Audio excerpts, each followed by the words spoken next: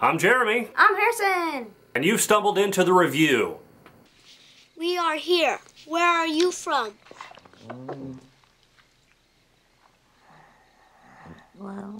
In this episode, we look at the Steven Spielberg classic E.T. the Extraterrestrial, celebrating its 30th anniversary this summer. Wow, 1982?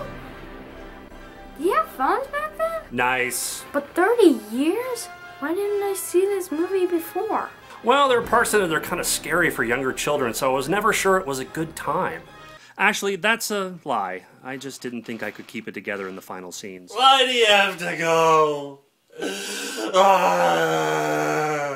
The story starts with a group of aliens and their spacecraft collecting plant samples in the woods. Oh, sort of like that episode of Freakazoid. You know, the one where the little green alien gets lost in the forest? Yeah, that's right. Steven Spielberg produced that and Animaniacs. The animators love to make references to his movies and even occasionally putting him in it. I like it. So was the alien in the woods collecting specimens for high-minded scientific experiments? No, just taking a bathroom break. It's a long way to Alpha Centauri. But our alien gets distracted and wanders too far from his spacecraft. A spacecraft that's got to make a quick exit when the guys in the pickups with the flashlights arrive, led by a guy with keys on his belt, but they never say what his name is. You mean Keys? Yeah, I mean keys. I mean, I, I- I just said that. The guy with the keys on his belt. You mean the guy in the woods, right? Yeah, the guy in the woods with the keys on his belt. Yeah, Keys. That's what I just said. I. Wait a minute. Are you doing an Abbott and Costello routine? Who's Alfred and Rostello? Abbott and Costello.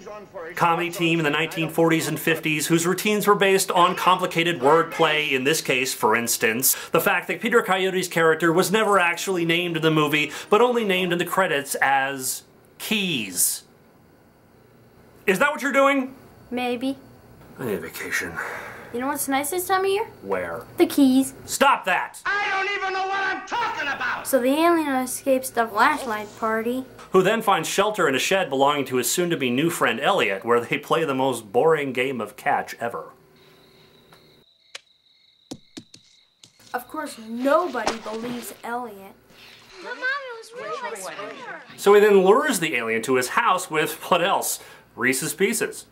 The Mars Company was asked to use M&Ms in the movie, but they refused, and Reese's Pieces sold millions. So basically that makes Mars losers! So he introduces the alien, who he named E.T., to his siblings with, well, mixed results.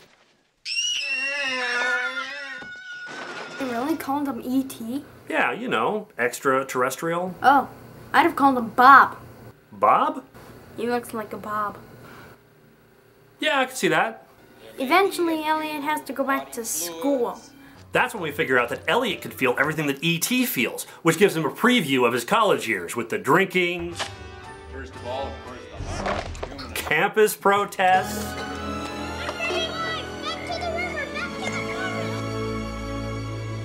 and chicks, chicks, chicks.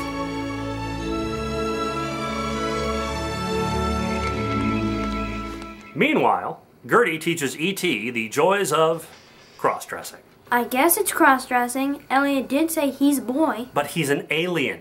How would Elliot know if he was a boy or a girl? Well, boys have what is called a penis. I know that, but how would Elliot know that? I mean, he. Oh, never mind. This is also the part where he learns to talk. Can you say E E.T.? E.T. Now that he's learned to talk, he told the kids that he needs to. Phone home. To be rescued. He talks weird. How did they make his voice sound like that? Well, the sound designer is a guy named Ben Burtt, who I met once, by the way. Nice guy. I think he just dropped a name. Yeah, I told George Clooney I'd never do that again. Anyway, Mr. Burtt heard the voice of this woman, Pat Welsh, while he was in a camera shop and thought it was unique and asked her to audition. She got the part, and then later on, she got the part of Boushh the Bounty Hunter in Return of the Jedi. Bonus! Just relax for a moment. You're free as a carbonite. You mean her voice just sounded that way? Naturally? Well, if you call 50 years of chain smoking natural, then yeah, sure. Ugh. Which just goes to show, smoke two packs of cigarettes a day, and when you turn 66, you too can be a star. I don't think that's such a good idea. Buzzkill. So ET has to build this communication device out of an umbrella, a saw blade, and a speak and spell. What's a speak and spell? Oh man, speak and spell was awesome. It would speak out a word in this electronic voice and you had to spell it out on a little keyboard and stuff.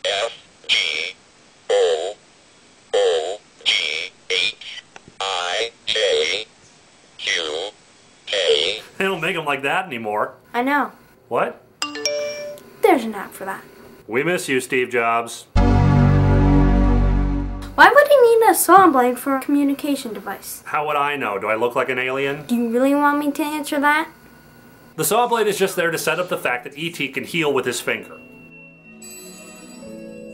Who knows? If his friends don't show up, he can always make his way as the faith healer. Turn on you! Turn on his life! On you, Jesus!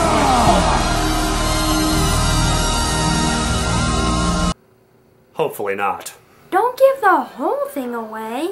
I agree, but if you are one of the few people who hasn't seen one of the most popular movies of all time, do yourself and the world a favor and make sure you watch the original theatrical edition. What's the difference? Well, for its 20th anniversary, people got kind of sensitive about having guns in a kids' movie. But there are guns in the movie. Not if you watch it in 2002, thanks to technology. Through the wonder of CGI, Mr. Spielberg digitally scrubbed all the guns from his classic film. Where did the guns go? They were turned into walkie-talkies. Ooh. That's not scary. Or threatening, and it makes a big part of the climax not work. Later on, Spielberg said he regrets making the changes. Where would I find the original movie? Pick up the two-disc collector's edition. The original theatrical is on disc 2, or you can just wait for this fall when it comes out on Blu-ray, and only the 1982 version will be on it. And then there will be peace. Drama Queen. Well, I guess we'll end it right there. I'm Jeremy, I'm Harrison. and until next time, we don't have a catchphrase!